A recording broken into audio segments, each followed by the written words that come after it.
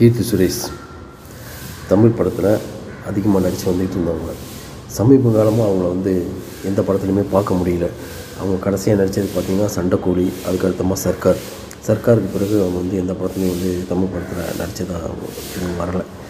இப்போ பார்த்தீங்க அப்படின்னா அவங்களோட ஃபோட்டோ ஷூட் வந்து லேட்டஸ்ட்டாக எடுத்திருக்காங்க. அந்த ஃபோட்டோ ஷூட் வந்து என்ன சொல்கிறது இப்போது நெட்ஸில் வந்து அதிகமாக வந்து வைரலாக வந்துகிட்டு இருக்குது அது பார்க்கும்போது பின்னாடி பார்த்திங்கன்னா ஐபிஎல் பேக்ரவுண்ட் வேறு இருக்குது இந்த ஐபிஎல் பேக்ரவுண்டை வச்சு பார்க்க போகும்போது இப்போ லேட்டஸ்ட்டாக எடுத்திருக்காங்க இந்த ஃபோட்டோ ஷூட்டை இந்த ஃபோட்டோ ஷூட்டை வச்சு பார்க்க போகும்போது என்ன சொல்கிறாங்க அப்படின்னா இப்போ நடிக்க போகிற இரண்டு பெரிய தலைகள் அதுன்னு பார்த்தீங்கன்னா முதல்ல தளபதி தலை. இந்த ரெண்டு படத்தில் இவங்க இணைஞ்சு நடிப்பாங்க அப்படின்னு சொல்லி சினிமா வட்டாரத்தில் வைரலாக ஒரு பேச்சு நடந்துட்டுருக்கு.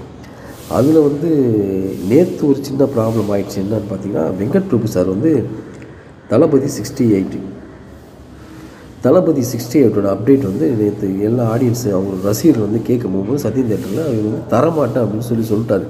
என்ன விஷயம் அப்படின்னு பார்த்தா தளபதி கூப்பிட்டு கண்டிச்சிருக்காரு. இல்லை இந்த படத்தை பற்றி தயவு செஞ்சு எங்கேயும் அப்டேட் கொடுக்காதீங்க.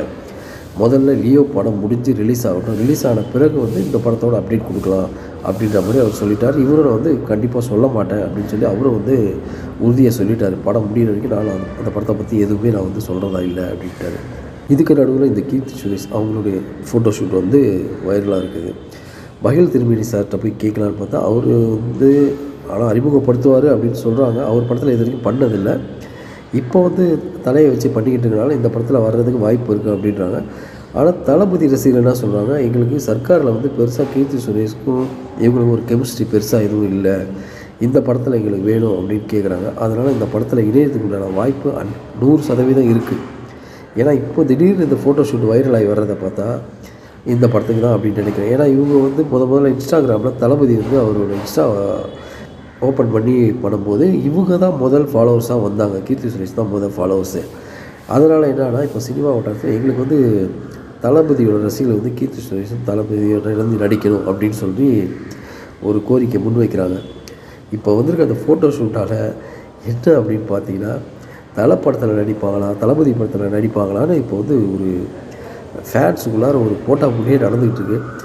சினிமா வட்டாரத்துலேயும் பார்த்தா கீர்த்தி சுரேஷ் வந்து தளபதியோட தான் இணைஞ்சு நடிப்பாங்க அப்படின்ற மாதிரி அவங்க உறுதியாக சொல்கிறாங்க உங்களை மாதிரி தான் நாங்களும் வெயிட் பண்ணிக்கிட்டு இருக்கோம். பார்ப்போம் இவங்க யாரோட இணைஞ்சு நடிக்க போகிறாங்க அப்படின்றத. கொஞ்ச காலமாக இவங்க தமிழ் சினிமாவில் இல்லாதனால தெலுங்கில் போயிட்டு பிஸி ஆகிட்டு தான் அப்படின்னு சொல்லிட்டாங்க. ஆனால் தெலுங்குலேயும் பார்த்தீங்கன்னா நிறைய பெருசாக இந்த படத்துலையும் வந்த மாதிரி தெரியல.